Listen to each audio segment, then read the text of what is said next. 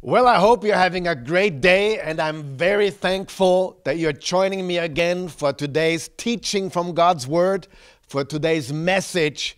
We started a brand new series last week as we are entering the new year 2021. And we're calling this series Now What? And actually, we're going through the last book of the Bible. Uh, the Bible has 66 units, uh, 39 in the Old, 27 in the New, and the last book is called Revelation. And it's not revelations, it's actually revelation because it's the revelation of Jesus Christ. Now, we know this book, or most people know this book, uh, as a book of seven seals and seven trumpets and seven vials or seven bowls. Um, and it has 22 chapters. But really, the main character of the book is Jesus Christ. And last week we saw that in chapter 1, and we actually saw four notable characteristics uh, of the book of Revelation. Let me repeat them really quick. Number one, this book, Revelation, tells us about the future, it tells the future. Number two, it promises a blessing, a blessing for everybody, not really, a blessing for all who hear it and who do it or live by it. Number three is, I think, I really believe this, the most important point. It is this book portrays a person, and his name is Jesus. It's the revelation of Jesus Christ. And number four, this book generates a response. Now, I think those four characteristics are very important for the study of the book of Revelation, but uh, these four points are also true for the Bible as a whole, because the Bible tells about the future. More than a quarter of the Bible is prophetic in nature. Actually, uh, like 26% of it tells us about the future. Hundreds of prophecies have already come to pass, and the rest will come to pass in time. And it is true that the whole Bible is a book about the future, the past, the present, and the future. The whole Bible promises a blessing for those who who read it and hear it and do it. Jesus said, uh, Blessed is the man uh, who builds his house uh, upon the rock. He hears my words and he does my words. And no matter what rains come, what floods come, what storms come, the house will stand because it's built upon the rock. And this book, the whole Bible portrays one person. Uh, it's Jesus. The whole Bible is the story from the beginning of creation, the Word of God. The Word was made flesh, and the Word, Jesus, will come again. We see that in Revelation chapter 19. And this book generates a response. We have to make a decision when we hear the word of God. There is not no decision. See, when I ask my wife, or when I did ask my wife uh, over 30 years ago, would you marry me? Now, the answer to that question is either or. There is no maybe. A maybe would be a no because maybe does not mean yes. So there's always a decision. Even when we think we're not making a decision, we're actually making one. When we decide to watch evil and do nothing about it, we're making a decision. So it's generating a response. So, chapter one in the book of Revelation, of all the 22 chapters that are incredible, and we'll look at most of them, we'll look at the, the most important themes of the book, um, is all about Jesus. Chapter 1 is a, a grandiose vision that the Apostle John had of the glorious resurrected Jesus Christ. Now, it's the revelation of Jesus Christ, like I mentioned. In the Greek, it's apocalypsis, which actually we have our word apocalypse from, as you could guess, apocalypsis, and it means actually uncovering or taking the cover away. It means disclosing something. And that's what we have with Jesus and many other things. We get the truth. So it's the truth is being uncovered. So apocalypse does not mean the world is going to pots. It, it, does not mean the end of the world, like most people think when they hear, hear the word apocalypse. They think about, you know, the end of the world. I mean, it will get rough. We, we read that also, that it will get rough and when, when Jesus comes back, or until Jesus comes back. Two things will happen. We know that for a fact. Number one, uh, evil will get worse, or the darkness will get worse. And number two, the light will get lighter. So we shine brighter. And then Jesus comes back. So until Jesus comes back, it will get darker. But as believers, true believers, will light or shine brighter. So apocalypse, apocalypsis is an uncovering. And John has an overwhelmingly awesome vision of Jesus Christ in chapter 1. Now, I think I mentioned this last time. If we don't understand chapter 1 and that it's about Jesus and Him being the ultimate victor over death, hell, and the grave, if we don't get that right from the beginning, we will make mistakes all the way along through the whole book of Revelation.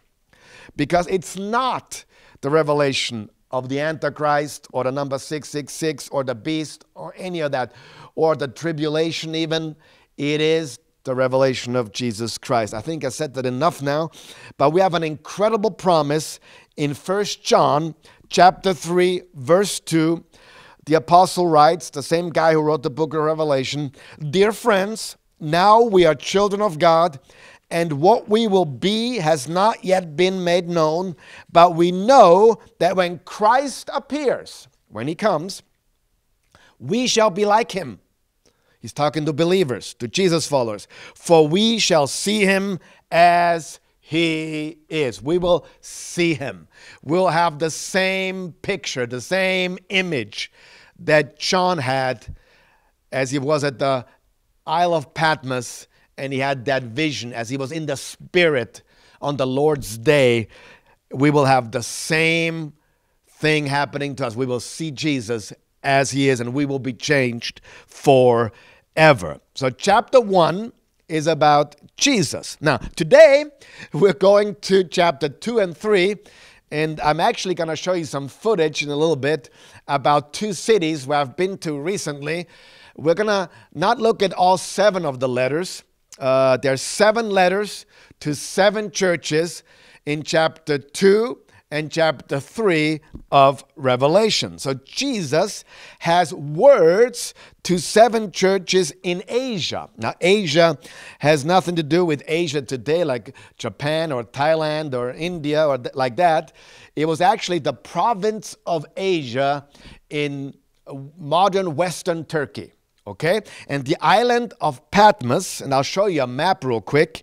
The island of Patmos was about 30 miles off the shore, or 50 kilometers off the shore, a Greek island off of the shore of Greece. And from there, he had that vision of Jesus, and Jesus instructed him to write to seven churches in the area of the province of Asia. It was a circular letter uh, that uh, John wrote there, and it was, uh, you know, for for all the Christians there in these churches. Now, seven is the number of fulfillment, so I would say that these letters were not only applicable to those seven churches, but to all the churches uh, that were around back then and also today for you and for me. Now let's read uh, in chapter 1 one more time before we then go to chapter 2 and then to chapter 3. In chapter 1, verse 10 and 11 and then 19 and 20 it says for the lord's day on the lord's day i was in the spirit and heard i heard behind me a loud voice like a trumpet which said write on a scroll what you see and send it to the seven churches. Now, here they are to Ephesus, to Smyrna, to Pergamum, to Thyatira, to Sardis, to Philadelphia, and Laodicea. Write therefore that what you have seen, what is now, and what will take place later. The mystery of the seven stars that you saw in my right hand and the seven golden lampstands is this the seven stars are the angels of the seven churches, and the seven lampstands are the seven churches. Now, I said to you earlier that I believe with all my heart, and that's what Revelation tells us, as we come closer to the end, or let's say, come closer to the coming of Christ, which is actually his second coming, which is actually our true beginning in all eternity. We will rule with him, we'll have a new heaven and new earth.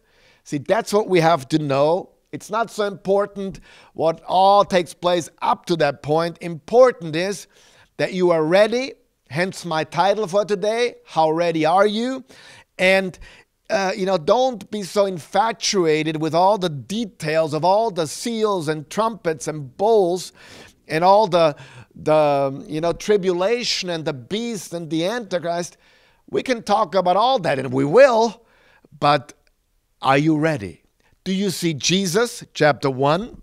And the question to the churches, and that's what the central messages are to those churches get ready. How ready are you? You know, he corrects them and he commends them. He has something good to say about most of them, and he has something to correct in most of them. So I picked two churches for us today, which is Ephesus, the first one, and Laodicea, the seventh one. And those are, I think, for us today, very important. For modern Christianity, very important. I'll explain that later. But what I was going to say is this he says the seven stars and the seven lampstands. Well, to simplify it, I won't go into all the details right now because I can't, I don't have the time.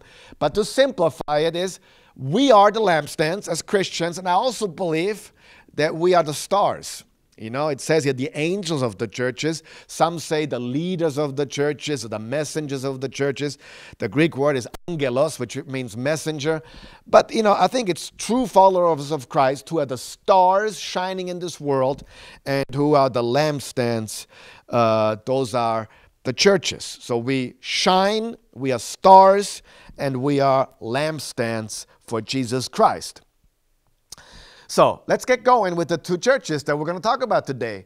And don't forget this all of what I'm saying today is do you see Jesus, chapter 1? And are you ready?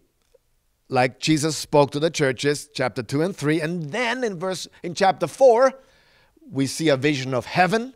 Chapter 5, we see the Lamb of God who was slain for our sins and the sins of the whole world and then we go into some uh, tribulation stuff and you know some babylon stuff some beast stuff some 666 stuff and some white horse red horse um, pale horse black horse stuff all this kind of stuff. But we must be ready. I'm, i really am scared for some of these end time experts whether the ones preaching it there's some good ones but there's also some some, uh, you know, not so good stuff out there. But I'm really scared about the, the people that are so infatuated with end time stuff. Uh, they want to know everything and they think they know a lot. And, but the main question is are you ready? Are you ready? I mean, I don't know everything about the Antichrist, and I don't know everything about the beast or 666 or Babylon or whatever. But I want to be I want to see Jesus and I want to be ready and I know I'm on the winning side. So that's the most important stuff that we have to know. Do we know Jesus and are we ready? Are we ready to shine bright so the lampstand will stand and will not be removed? Our impact will not be removed and our light will shine strong in this world. Now let's go to Ephesus. And I'll show you some footage as well as I read this, but uh, let's go there because I've been there recently and I can tell you one thing there is a real Ephesus. There were real Christians there, real Jesus followers with real persecution who stood firm for the faith of Christ. Let's read Revelation 2, verses 1 through 7. This is the first church Jesus writes to. It's also the biggest city uh, of the seven and the most prominent one. To the angel of the church in Ephesus, write These are the words of him who holds the seven stars in his right hand and who walks among the seven golden lampstands. He's amongst us. I know your deeds, your hard work, and your perseverance. I know that you cannot tolerate wicked people, that you have tasted those. tasted. You have tested those who claim to be apostles but are not and have found them false. You have persevered and have endured hardships for my name, and you have not grown weary. Yet I hold this against you. You have forsaken the love you had at first. Consider how far you have fallen. Repent and do the things you did at first. If you do not repent, I will come to you and remove your lampstand from its place. But you have this in your favor you hate the practices of the Nicolaitans, Nicolaitans, which I also hate. Whoever has ears, let them hear what the Spirit says to the churches. To the one who is victorious, I will give the right to eat from the tree of life, which is in the paradise of God.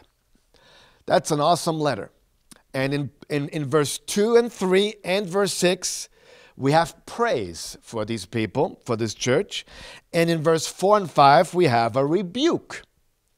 Now, we don't like rebuke. You don't, I don't, my kids don't. Nobody really likes to be rebuked or corrected or disciplined. But check this out. In Hebrews 12, verse 6, it says, For the Lord disciplines the one he loves and chastises every son whom he receives. Now that's good news. He loves us, and that's why he corrects us. Now, that's so, so contrary to the spirit of today's world where it like goes like well if it makes you happy then do it or no let everybody do what they want to do well I, I don't agree i think if you love someone you help them find the right path you correct if it's your children uh, or even a good friend, you, you bring a loving rebuke because of love. It's very important. The Lord disciplines those he loves. Now, this letter is the first one. It's very important. We know there's also the book, the letter to the Ephesians by Paul the Apostle, which he wrote, uh, you know, pretty pretty near to his death, or in, at least from prison. We know that. Ephesus was a port city. It was spectacular. It was an intellectual center with a, with a fantastic, huge library. It was also full of emperor worship, an imperial cult, uh, and rampant sexual immorality and worship of deities, the most famous Artemis. I'll get that in a moment. And it also had uh, an incredible market called the Agora, where trading, and spying, and selling took place. It was very rich, it was affluent, it was a world city. Probably much like today, London, Paris, or Shanghai or Tokyo. It was a world city. But it was difficult for Christians because of the emperor worship and the worship of false god. But the emperor worship was a real problem you have to understand when you entered the agora, there was an incense burner. And the, the people had to take a little incense as they went into the market to do so on good terms, in good standing, and throw some incense on the incense burner as a sign of allegiance and worship to the emperor. Um, great challenge for Christians, as you can imagine because what if they close down my shop? If I don't do that, what if I lose out? These were real threats for Christians. And there were pagan gods and goddesses everywhere. 14 temples that was, was there. And the greatest of them, the most famous of them, which was also one of the seven wonders of the world, I think it was destroyed somewhere in the third century, was the temple to the goddess of Artemis or Diana. It was like one and a half football fields long and more than a football field wide. And it had 127 pillars of marble. It was gigantic. Everyone came to worship there, to worship this goddess of fertility. Every aspect of life, the banking center, uh, every aspect of life was involved with that temple. Banking center, central point of the city, also uh, sexual, um, you know, um, sexual stuff, occult stuff, over 100 or hundreds of temple prostitutes, female and male. Now we read about this temple also in Acts chapter 19 because the silversmiths of the city of Ephesus made money and lots of it by selling, uh, you know, little statues and things uh, with the image of Artemis, this goddess. And it was a big problem for Christians. And uh, Paul almost got killed there. And, uh, you know, and it was a, a bad thing for Christians. Now, there was also the worship of Domitian. His temple was the highest. As, as you came by ship into the city, you could take the river all the way to the, the city. You saw on the highest point the temple of Domitian and his statute. And he demanded worship. That was a big, big problem for Christians. And Domitian persecuted followers of Jesus the hardest of all. It was difficult to stand strong in the Lord and in the power of his might, like Paul wrote to the Ephesians in chapter 6, verse 10 in his letter to the Ephesians. But it was also very occult. A lot of demonic activity all around, very dark. And Paul wrote about that actually in his mentioned letter. I'll read that to you. Ephesians 6, verse 10 through 14. Finally, be strong in the Lord and in his mighty power. Now let's stop here for a second. Before Paul wrote this, obviously, this is towards the end of his letter. He says, finally, he wrote to them about all kinds of things, the way Christians should live in the dark world. You know, forgiving, loving, how to how to live with your wife and your husband, submission one to another, raising children, and even, you know, how to deal with your boss or your employees, etc. So he wrote a lot of things about living the way we should live in the previous chapters of the letter of Ephesus. Also about who we are in Christ and how we have spiritual realities, spiritual realities that nobody can take away from us. And then he says, finally, be strong in the Lord and in his mighty power. Put on the full armor of God so that you can take your stand against the devil's schemes. For our struggle is not against flesh and blood, but against the rulers, against the authorities, against the powers of this dark world, and against the spiritual forces of evil in the heavenly realms.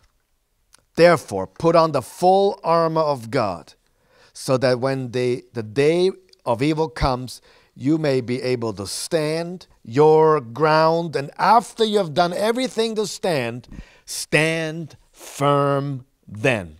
So, Paul wrote to them about standing firm against spiritual wickedness, against spiritual darkness, against spiritual demonic activity and they knew exactly what he meant. They, he wrote to them about something that they knew exactly what he meant, and they took him seriously. They were strong. And there is no compromise, really, uh, in the Ephesian church as it is about faithfulness to Jesus, faithfulness to the only true and living God. Even though the pressure was great. Now, Jesus commends them, for example, that they hate the deeds, the actions, the life of the Nic- Nicolaitans. Well, they were a Christian sect. They tried to combine the occult and sexual practices to deities with Christianity. But they stood firm against that cult, against that false teaching. They stood firm against emperor worship. They were strong. I asked myself, why? How could they stand so firm? I believe it has to do with leadership. Because, for instance, Paul, the apostle, we read that in Acts 19 and 20, he was there for almost three years and he taught in the school of Tyrannus every single day for over two years, from 11 in the morning till 4 in the afternoon. Paul laid a strong foundation. He proclaimed the word of God. That was very effective. So I think they could stand firm on the word because there was really good leadership, and Paul the Apostle invested a lot of his time and leadership into them. We know that. But what does Jesus have against them? Good questions. We read that in actually in chapter 2, and we read it in verse uh, 4. Let me read it to you again. It says, Yet I hold this against you. You have forsaken the love you had at first. Consider how far you have One translation says, You've left your first love. You've left the most, you've left the most important thing. You're doing good things, you're having great works, but you're not doing them because you love me. It's habit, it's a project, it is duty, but not because you love me. And if you don't change, if you don't turn around, your lampstand will disappear, which actually happened. And you will lose your light and your power. Now, I don't believe that has to do with losing your salvation because our salvation comes because we have trusted Christ. He has forgiven our sins and our allegiance, our faith is in Him and Him alone. Salvation is by faith, not by works. Also in Ephesians chapter 2, verses 8 through 10. But the lampstand can be gone, the light can disappear, the influence, the power. That's what really happened. So he commends them for their work, for, for hating lies and hating you know, false practices and false teaching. And he commends them for doing good and working hard and enduring. But he reprimands them for losing their first love. What's the lesson from Ephesians or from the church in Ephesus as written in Revelation 2, verses 1 through 7? The lesson is Jesus longs for a relationship not, be, not behavior, not doing and more doing. He longs for a relationship. Now, sometimes recently, I actually did the dishes at home. this is, yeah, a bit surprising for my wife, actually. But I remember recently, I thought, man, I want to, I just want to be, I just want to show my wife I love her. And I I did the dishes. I did you know cleaned up in the kitchen a little bit. Did the dishes, loaded the dishwasher. The bigger dishes I washed up by, off, washed by hands. And she came in and she saw that I did the dishes. And she says, Why did you do that? You didn't have to do that. What did I say? Well, I did it because this is my duty. I want to be a good husband and I want to be, you know, I want to honor the institution of marriage. No, I didn't say that. I said, I love you, honey. And isn't it true? If we really love someone who is the most important person in our life, we want to show, we want to look for things how we can show that we love that person. Well, I do that sometimes, and I should do more of it. Uh, I did it because I love you. And Jesus is looking for that. Jesus is looking for love. And the reward is great the eternal tree of life, paradise. See, the people in Ephesus thought that Artemis was the goddess of fertility and life, and there was actually a tree there where people came to. But Jesus says, No, no, no. I give you the true tree of life. You can eat from the true tree of life in paradise, in the Eden that's coming. Matthew 5:12 we see the reward. Jesus said in his Sermon on the Mount, "Rejoice and be glad, because great is your reward in heaven." Man, that's an awesome awesome thought. For in the same way they persecuted the prophets who were before you. Great is your reward in heaven. So, what's the lesson of Ephesians? Man, turn around, go back to your first love. Don't let it be duty or habit.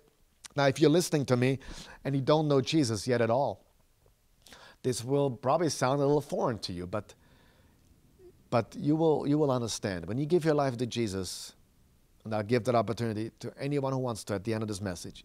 If you give your life to Jesus, you'll understand true love and how awesome it is when you feel cleansed from your sins and you know that Jesus covered all your sins and He did it because He loves you. And He died on the cross because He, he loves you. He died for your sins and mine because He loves us. And then you know what love is, but never let go of that love. See, religion is works, religion is just duty.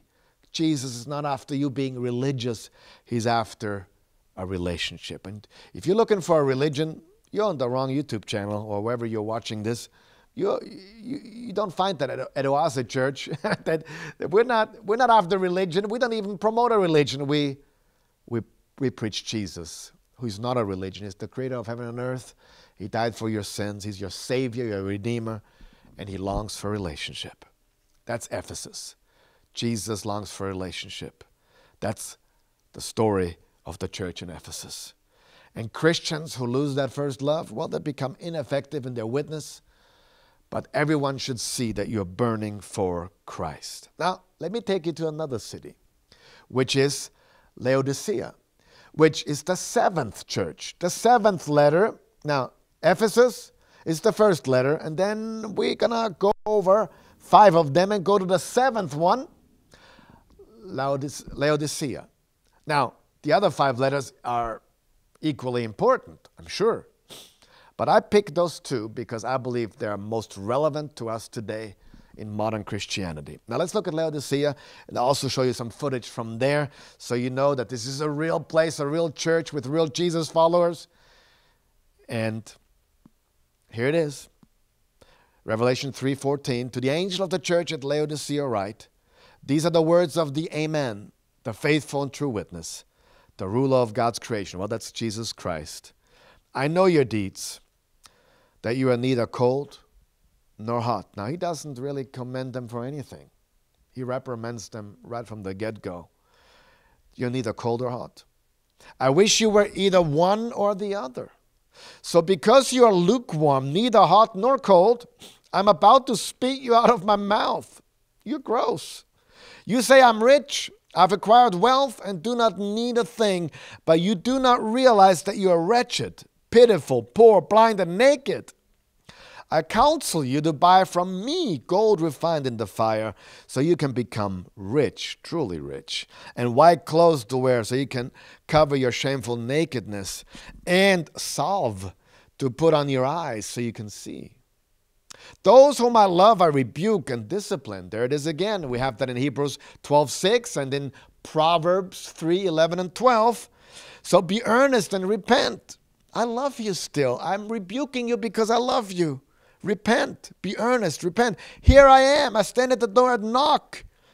If anyone hears my voice and opens the door, I will come in and eat with that person and they with me. To the one who is victorious, I will give the right to sit with me on my throne, just as I was victorious and sat down with my Father on his throne.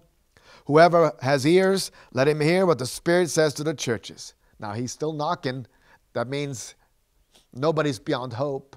Jesus knocks, even though where he has nothing to commend them for, nothing to praise them for. Now, Laodicea is an interesting story. It was a booming economy placed at the most important trade routes from all around the world.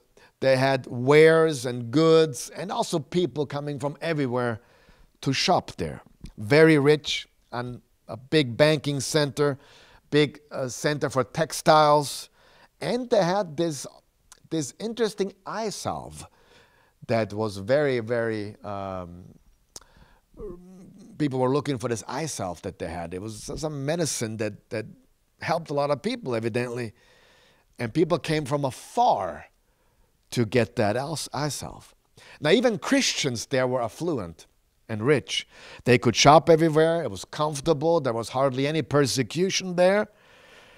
So it was a good place to live, even for Christians. Comfortable, you know, in affluence.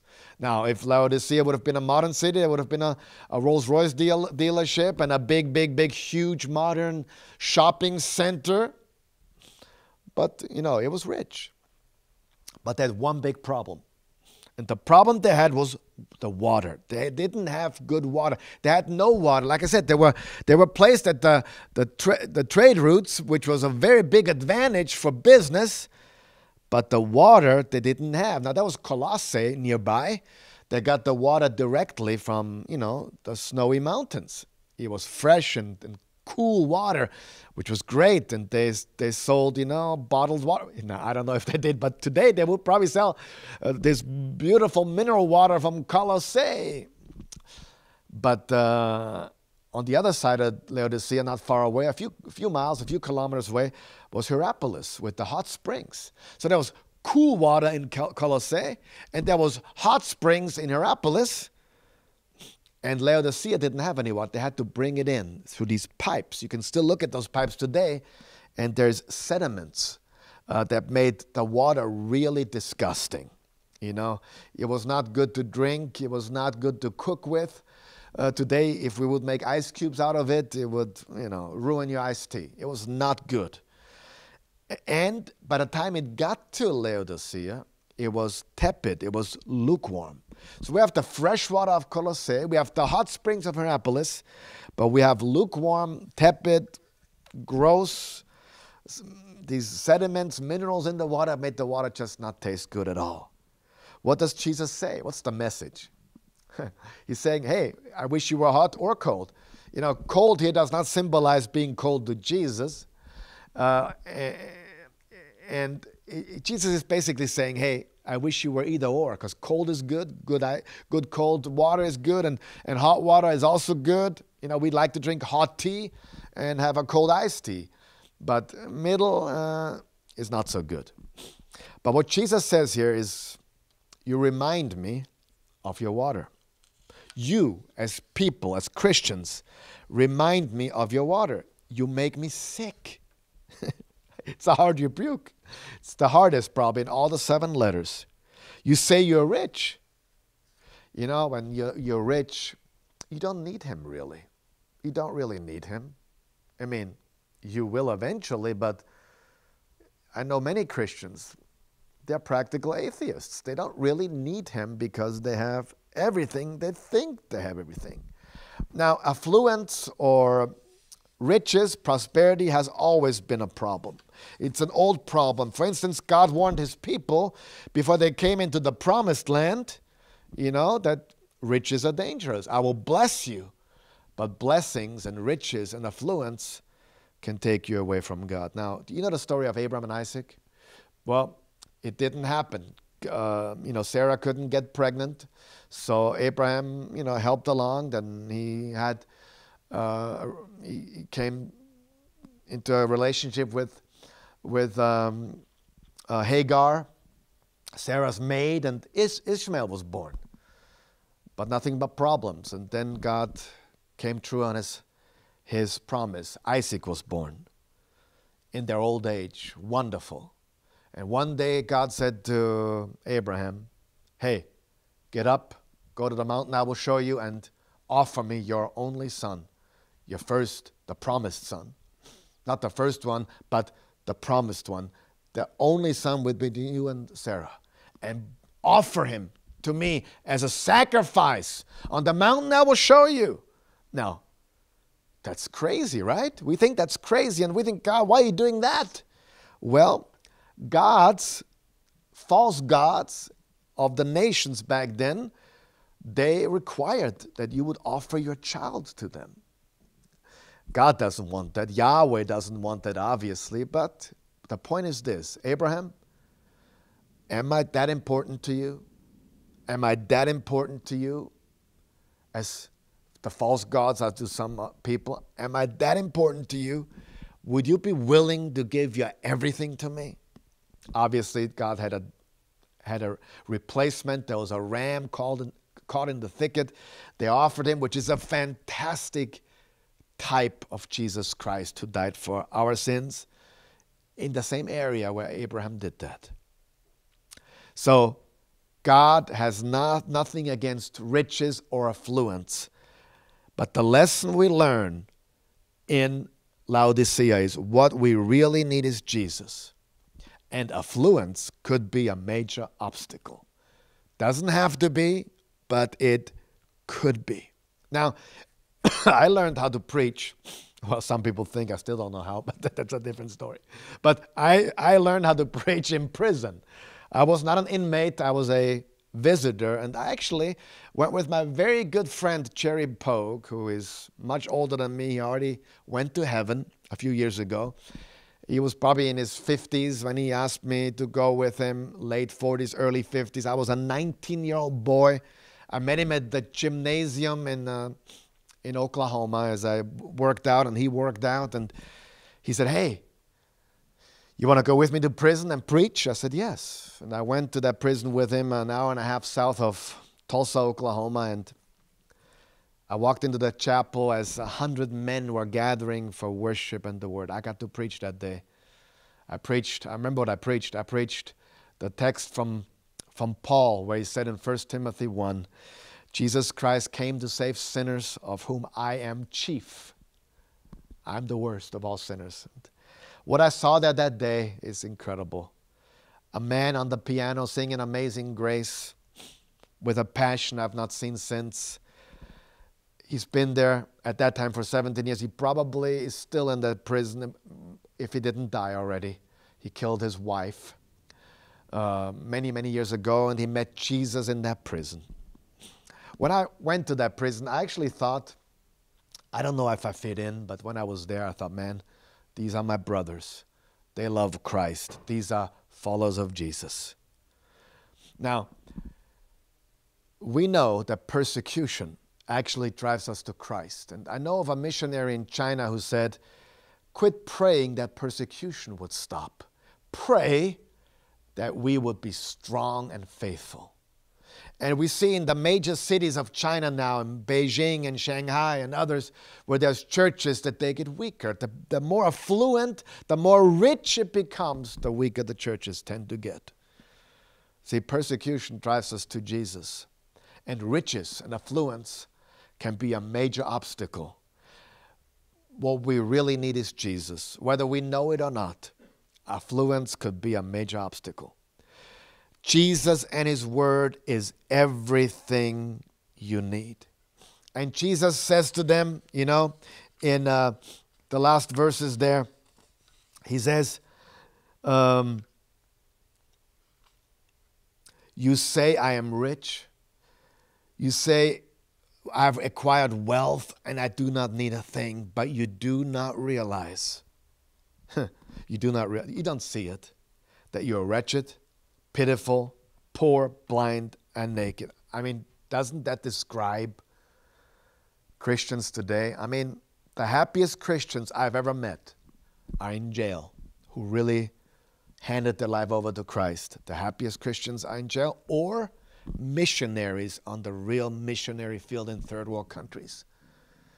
Even the children that grow up on the mission field, you know, they are usually have a much greater opportunity or potential to become truly successful because the way they grew up. I watched a video by a footballer Cristiano Ronaldo the other day, an interview. And he grew up on the island of Madeira with a father who was the, the, the keeper, the, the, um, the grass keeper of the football club. And the interviewer asked Ronaldo, How many cars did your dad have? And Cristiano laughed and said, He didn't have a car. He said, How many cars do you have? He said, I don't know. I don't know. And he has a son who's also named Cristiano. And he said, How do you deal with him? You know? Growing up in that luxury, in those, in that, in those unbelievable riches. He said, "Well, he actually said some good things." He said, "It's difficult. It's very difficult, but I can I can do it by uh, telling him every day. You know, this was all very hard work, and we are very thankful for this." So he really said some really good things. I really liked it. See, affluence can be a danger. Think about your own children. I have six. I want them to be happy and healthy and wealthy. I want them to have everything. But on the other hand, what will that do to our children if they have everything?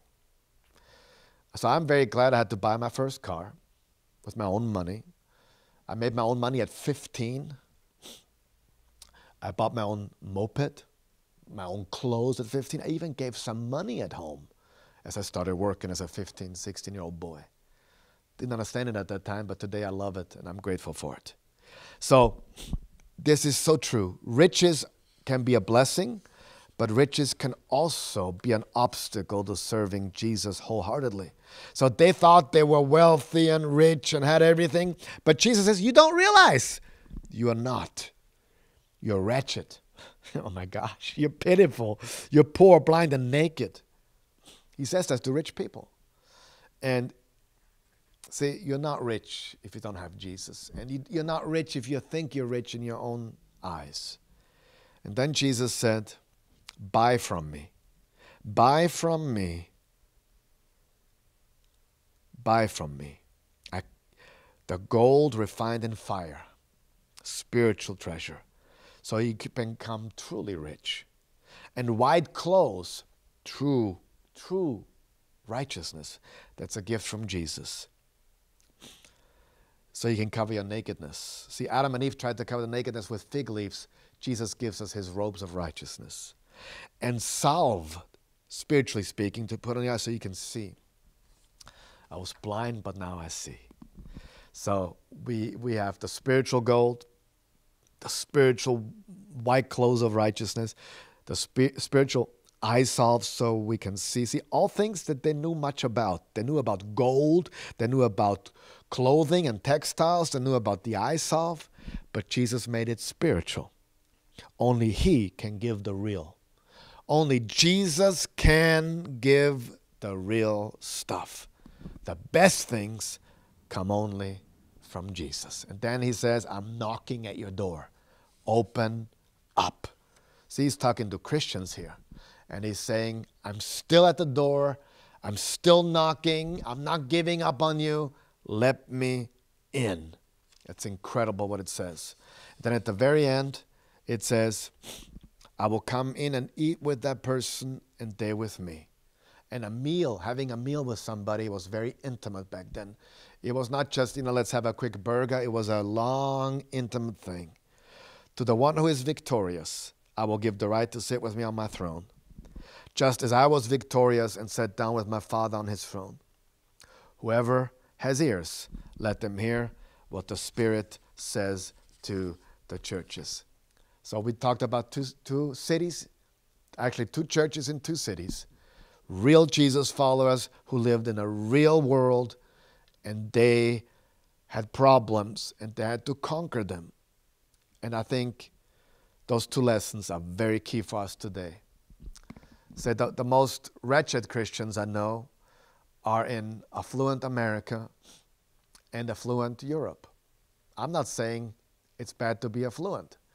I think it's a good thing to be blessed, but I also think it's very important that we are ready to give it up and to give it all to Jesus. Do you have to tithe? Hey, you have to put Jesus number one, and then you think about what you want to give him because he owns everything. Number one, lesson from Ephesus is Jesus is longing for a relationship. He's not longing for obedience without love. He's longing for a relationship, a love relationship, the result will be obedience. And the lesson from Laodicea is what we really need is Jesus. And affluence could be a major problem. Let us pray. Heavenly Father, good God, thank you for the relevance of your word and the relevance of your letters to these seven churches in Asia Minor back then. They are relevant to us today. God, we don't want to just have rituals and obedience and habits and duty. Though some of that is certainly has its place, but if we lose our love, we have nothing left. We want to love you. We want to love you because you first loved us, and we want to love others. Give us a love revival, a true love. And God, help us to see that Jesus is all we need and that affluence could be a major obstacle. God, if affluence, if riches are an obstacle to us, show us, help us to become generous because that's the only way to conquer it, and help us to really focus on the real riches.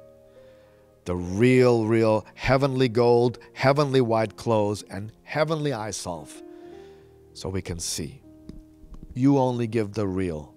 The best things come only from Jesus. If you've never accepted Jesus, pray this Jesus, I come to you, a sinner in need of a Savior. You died for me on the cross. You are the Savior of the world. Become my Savior now. I give you my life as good as I can and understand right now. I give you my life and I receive yours. Jesus, I confess you, my Lord, my Savior, my God. I believe that you are raised from the dead in Jesus' name. So, you know, go for the relationship and check your heart. How is your love? And check also your heart are you hot? Are you cold? Are you lukewarm? Let's change these things so the world will see the difference and Jesus is glorified in and through our lives. I love you and I see you next week.